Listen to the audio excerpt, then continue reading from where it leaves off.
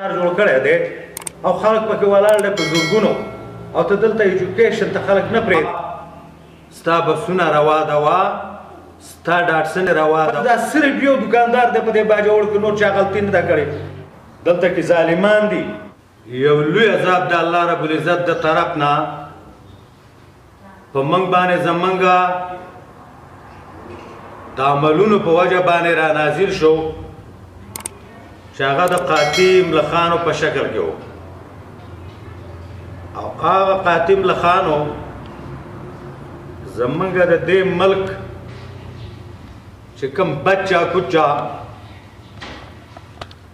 فصلونه پاتې شیو ډیر په بې دردۍ هغه هغه قاتم لخان وخوړل او ملک کنګال پرې خودو هیڅ قسم مخنیوی دی ونکو او که د دې څه څه نه وي دا ټوله دنیا هم د بار ملکونو نه امداد غواړي مدد خلک غواړي شره زما علاقه خراب شوه زما سره امداد وکړئ زما سره دا پلانکی شی نشته هغه هم دی ونه کړو دغه درې مذهب هم په موږ باندې راغی چې د هغې په وجه باندې زمونږ په دې ملک کې ډېر زیات نقصان وشو څلورم څلورم د ټولو نه غټ چې دا د الله تعالی یو لوی عذاب دی او دا د حکمرانانو د غلطو نیتونو او د مشرانو د غلطو نیتونو په وجه باندې راځي چې هغه ته وایي جلباری یا ګلۍ هغه ګلۍ په دې ملک کې یو علاقه پر کې نه ده هر څه تس نس کړي دي هر څه تباہ او برباد کړي دي یو شی چې کم دی نو هغه پر کې نه دی نو څلورم شی چې کم دی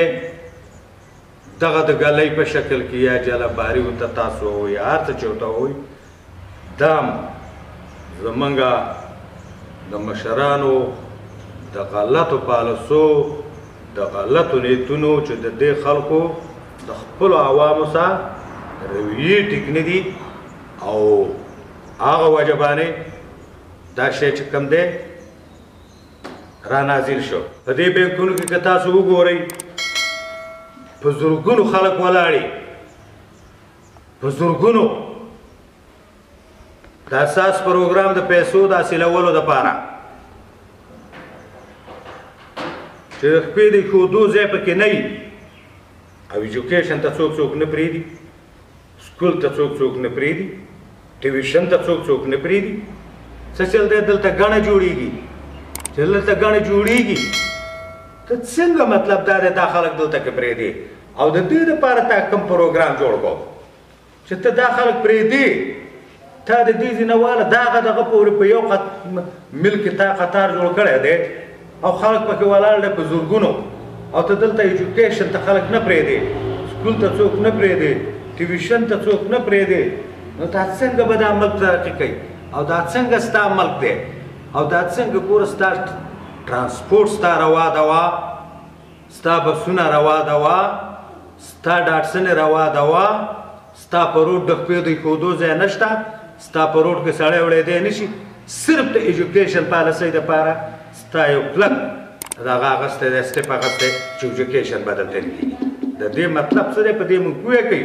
په دې شي زموږ شک پیدا شو ولې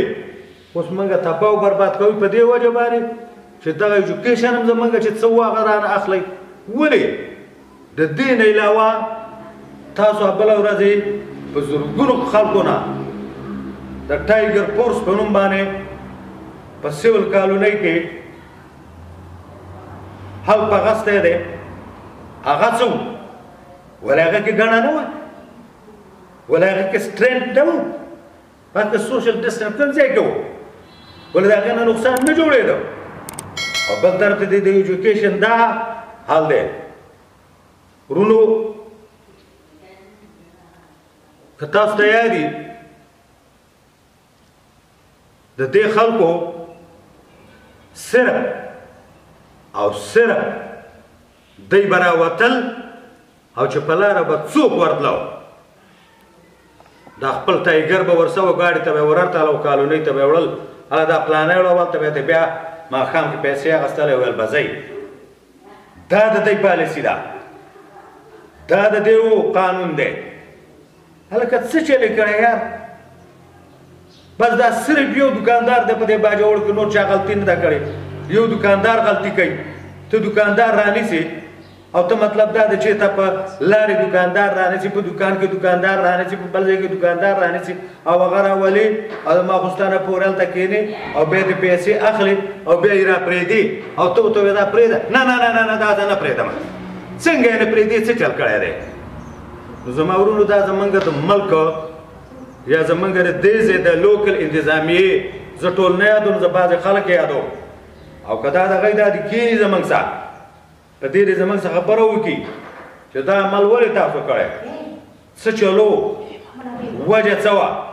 چې تاسو د خلکو سره ظلم کړی دی او ځکه ګوره چې کله په یو ټوله ټوله دنیا کا کاپر شي ټوله دنیا او د کلمې نوم چرته نه ویلای کیږي نوم د کلمې نه ویلای کیږي نوم هغه ملک بچلیږي خو چې په کم ځای کې ظلم کیږي ظلم ظلم چې چرته کیږي نو هغه ملک باندې چلیږي دلته ظلم روان دی دلته کې ظالمان دي او د دې ظلم په وجه باندې ځکه خو زمونږ د ملک نه ترقي کوي ځکه خو دلته نه روزګار شته دی ځکه خو نه دلته صحت شته دی ځکه خو دلته نه ایجوکیشن شته دی ځکه خو دلته نه صحت شته دی ځکه خو نه دلته رورولي شته دی ځکه خو نه دلته بل ملاک شته دی ځکه چې دلته ظالمان دي په دې وجه باندې او دی خپل طاقت او خپل زور ازمایي ازمایي کوي په کمزوري سړي باندې په کمزوري سړي باندې څوک پنج ازمایي نه کوي د کمزوري سړي څخه خلک گزاره کوي نو زما پناه ورونو تاسو د ټولو یو جهان مننه ډېره زیاته مهرباني